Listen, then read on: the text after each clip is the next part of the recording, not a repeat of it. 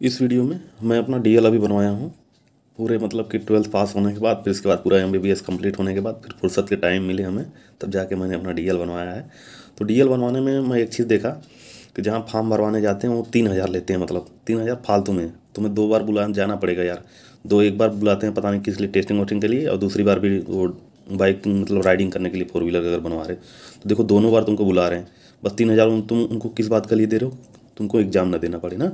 और एग्ज़ाम में जब मैं वहाँ मतलब कि मेरी पोस्टिंग लगी थी सुल्तानपुर में तो सुल्तानपुर का रीजनल इंस्पेक्टर जो था मतलब R I R T O department एक पोस्ट थी उससे जब मैं बात किया तो मुझे क्या पता चला कि उसमें, और भदोही जब मैं गया था टेस्ट देने तो उससे भी पूछा, जो यहाँ पे बैठ के एग्ज़ाम ले रहा था ना, उससे मैं पूछा तो कुल मिला जुला देखो, सौ पचास क्वेश्चन होते हैं लगभग, सौ क्वेश्चन होते हैं, जो घुमा फिरा के वही क्वेश्चन सबसे पूछा जाता है। और अगर तुम मतलब सौ में से अगर मान लो पचास भी याद कर लो तब पर भी तुम्हारा काम बन जाएगा। सौ तो मैं बहुत ज़्यादा बता दिया हूँ। क्योंकि वो भी यार, तुम जान रहे हो, आदमी इंडियन क्या होता है? हमेशा भौकल बनाने चक्कर में बढ़ा चढ़ा के बोलते हैं। तो भी बढ़ा चढ़ा के ही बोला होगा। तो उतने क्वेश्चन होते हैं, उतना याद कर लो। और बेसिक बेसिक क्वेश्चन होते हैं। जैसे रोड पे जा रहे हो तो हमेशा नोटिस करना, जो साइन लगाओ, वो दिमाग में बैठा लेना, बाद में उसका मीनिंग खोज लिया करो। बस उसी से तुम्हारा काम बन जाएगा।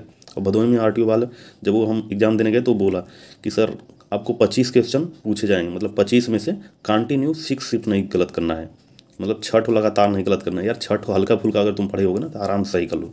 बस इतना मतलब अफवाह बना गया है, तुम्हारे अंदर डर बना दिया गया कि तुम एग्ज़ाम देने से डरते हो और कुछ नहीं होता। अरे उसमें फेल हो जाओगे, कोई नहीं, एक महीने बाद फिर से तुम रजिस्ट्रेशन करके फिर से जाना एग्ज़ाम देने। कोई प्रॉब्लम नहीं है। हाँ तो इसलिए यार एग्ज़ाम दो। क्या बेफालतू तुम तीन हज़ार रुपया वेस्ट कर रहे हो अपना। पहली बार में शायद एक हज़ार के लगभग लगता है रजिस्ट्रेशन वगैरह, दूसरी बार में तीन सौ या छः सौ या फिर उल्टा इसका मैं बता दिया। हाँ इतने लगभग लगते हैं, ज़्यादा कुछ नहीं लगता। हाँ तीन हज़ार में फालतू उसको दे रहे हो। तो तुम करप्शन खुद क्रिएट कर रहे हो। फिर दूसरी जगह जाओगे तो बोलेगा यार, कर्मचारी वहाँ का करप्ट है भाई मतलब पैसा लेता है, बिना पैसा लिए काम ही नहीं करता। तुम यार, अपनी जगह तुम खुद ही पैसा दे के आए हो एक जगह। अब काहे तुमको बुरा लग रहा है ना? तो बुरा भी नहीं लगना चाहिए। हाँ तो वो जो बीस पच्चीस क्वेश्चन हमसे पूछे गए थे, वो हमें आज भी ध्यान है। तो मैं उसका मतलब एक वीडियो में सिर्फ़ क्वेश्चन ही बना के डालूँगा। ताकि बस खाली यार टू द पॉइंट रहो। मतलब देखो, ज़िंदगी में टाइम बहुत कम है हाँ? अगर कम टाइम में ज़्यादा चीज़ सीखना तो ये टू द पॉइंट होना पड़ेगा। तो इसलिए मैं सिर्फ़ क्वेश्चन बना के डालूँगा, सिर्फ़ वही देख लेना उसमें। बस उतने क्वेश्चन मेरे से पूछे गए थे, और नियर अबाउट जो मुझे ध्यान पड़ेगा, इधर उधर देखूँगा तो वो भी डाल दूँगा सिंपल बस उतना याद कर लेना। एटलीस्ट उतने पूछे जाते हैं घुमा फिरा के, और ज़्यादा कुछ नहीं होता। अब जैसे ट्वेल्थ की तुम एग्ज़ाम दिए होगे ट्वेल्थ में हाँ मान लो टेंथ पढ़े हो तो टेंथ में क्या होता है? सला वही एक किताब है, उसमें कितना क्वेश्चन बना लोगे यार? घुमा फिरा के वही क्वेश्चन पूछा जाता है हर साल। तभी तो बोलते हैं प्रीवियस ईयर के क्वेश्चन पेपर सॉल्व कर लो पास हो गए। तो वही सेम चीज़ यहाँ भी है। पचास टू क्वेश्चन है, घुमा फिरा को तुमको उसी से पूछेंगे। और वो तो क्वेश्चन तुमको देख भी तुम देख भी लेते हो। रोड पे चलो, हल्का से नहीं क्या तुम इधर उधर कर दो। देखो तुमको सब पता चल जाएगा। हाँ तो इसलिए एग्ज़ाम एग्ज़ाम टेंशन नहीं रहो बेफाल तुम तीन हज़ार रुपया ना दो। आराम से अपने फॉर्म भरो या फिर फॉर्म जाके कहीं भरवा लो। सौ पचास देके वो उतना मैटर नहीं करता हाँ?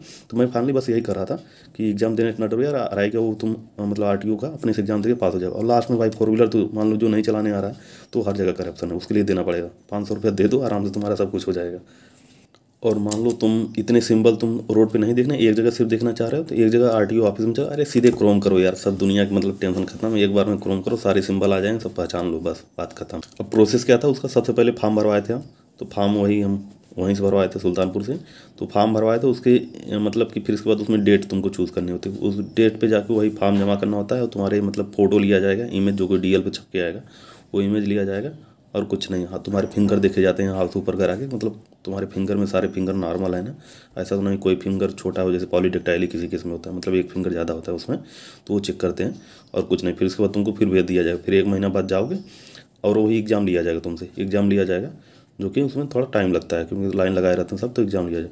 बस फिर उसके बाद भेज दिया जाए, फिर एक महीने बाद जाओगे। उस एक महीने वाले में वो तुम्हारा टेम्पोरी डी बना के दे देते हैं, जो कि तुम्हारा छः महीने के लिए वैलिड होता है शायद। छः महीने के अंदर तुमको फिर जाना होता है मिनिमम तुम एक महीने बाद जा सकते हो। और फिर तब इसके बाद जब एक महीने बाद जाओगे तो कुछ नहीं किया जाएगा। फिर से वही साइन थम तुम्हारा फिर से देखेंगे, फिर इसके बाद फिर से फ़ोटो लिया जाएगा। और फिर इसके बाद तुमको राइडिंग के लिए बोलेंगे, अगर तुम राइड करोगे तो तो करो, नहीं तो फिर इंडिया में करप्शन है ही है भाई, सीधी बात है। तो सीधे पाँच सौ रुपया दो और सारे टेंशनों से छुटकारा पाओ। फिर फाइनली एक हफ़्ते से पंद्रह दिन लगेंगे, उसमें तुम्हारा डी एल बन के चला आएगा।